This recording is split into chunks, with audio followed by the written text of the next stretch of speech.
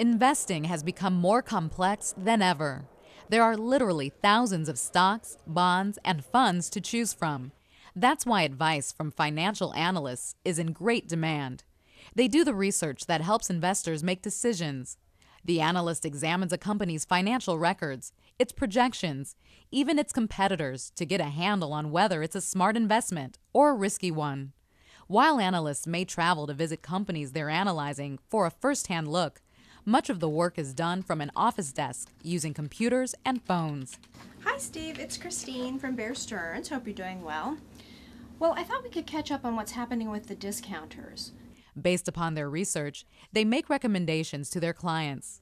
Some analysts advise banks, insurance companies, and other large investment groups. Other analysts are employed by firms that handle investments for individuals.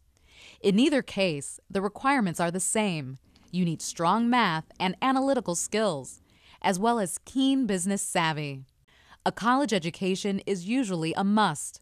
To move ahead in the field, a financial analyst might seek an advanced degree in business and certification as a chartered financial analyst.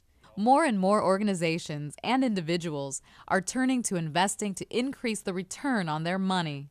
That means the job outlook for financial analysts is becoming increasingly bullish.